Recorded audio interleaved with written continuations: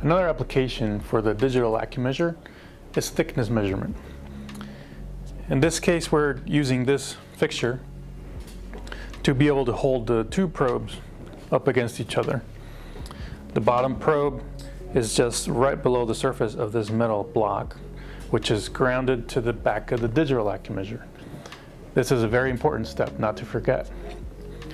The top probe sits on this clear plastic so we can see what we're doing. What we're going to be using for, for measurement is these calibration blocks. It's very important that we know the thickness of these blocks, at least the, the first one that we're going to use, so that we can calibrate the setup. And in order to calibrate the setup and do all the measurements, we're going to start the software on the computer. The program we're going to use this time is the icon called AccuMeasure Measurements. We're going to scan for units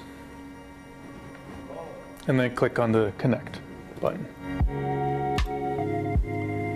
We're going to select the third option, which is the thickness measurement.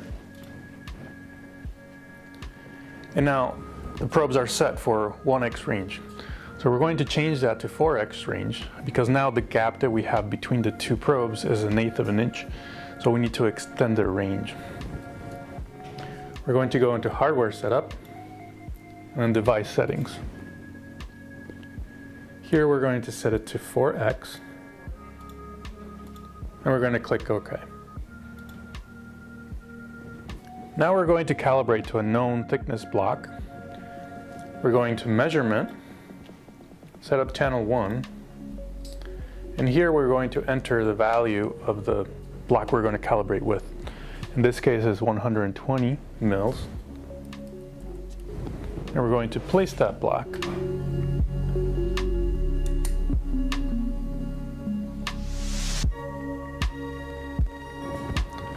And then we're going to hit the calibrate button.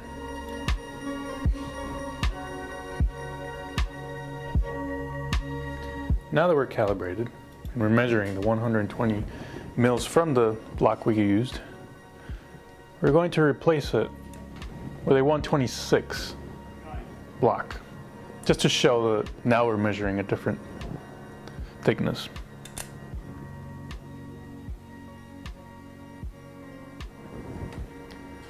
We can see that now the software is displaying 126 mils.